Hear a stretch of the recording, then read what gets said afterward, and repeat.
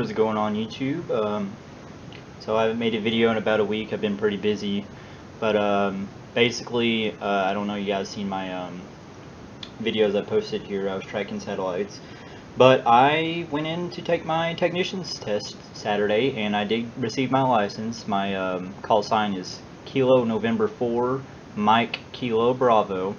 Um, I do plan on getting a, um, a, call sign here soon, but I figured just for you uh, guys like thinking about going in and taking the test, I'll kind of um, tell you how my experience went. Um, this particular test I took in Lexington, um, and basically I went into the uh, the testing center uh, where they held it, and there's some gentlemen there, um, probably five or six, and uh, one kind of administered the test, and then there was three or four people that graded it. Uh, there wasn't very many people there. There's probably like maybe five, including me. But basically, we got in. Um, we were told to get out our IDs to, you know, make sure we are who we are, and um, we filled out the paperwork. Um, I did give them a courtesy call beforehand to let them know I would uh, be testing. That's something that you guys should do because sometimes they don't even have people show up. Sometimes they have too many, uh, and they need to know how much supplies to bring. So I um, I went in and filled out the paperwork. Um, and then my uh, quest, my test started. It was a little bubble sheet, so I went through and um, completed it. Uh, turned it in about four or five minutes. I knew that um, I had passed. The four or five people that were there at, another table, they actually have to swap the paper and grade it. Um, so you, you find out that you passed right on the spot, so that's kind of cool. Um, and then after you pass, they handed me a um, little paper that I think I've got it here. Let's see. Nope, I threw it out. But they handed me a paper um, proving that I did take the test and I did pass just in case there's something that goes wrong with the FCC database. It's good for up to a year. But um, they told me that my call sign would be in the um,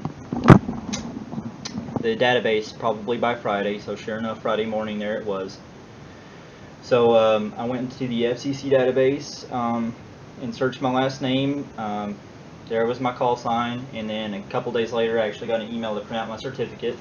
So you guys can kind of see what that looks like here in the picture, here in the uh, webcam. This is a binder to keep important documents. So yeah, that was pretty cool. Since then, I've actually made my uh, first contact. Um, there's a repeater down here, um, and I just kind of jumped on there. The guys on there are really cool and welcoming.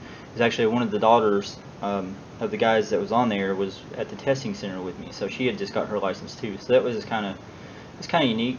Um, but yeah, so far everybody I've talked to has been really friendly. I've had a couple trips up to Cincinnati, um, and I was able to talk to some people from there with my Baofeng. Um, I've also been working a lot of satellites. I've got this um, ordered new antenna. It's a one-fourth wavelength whip antenna.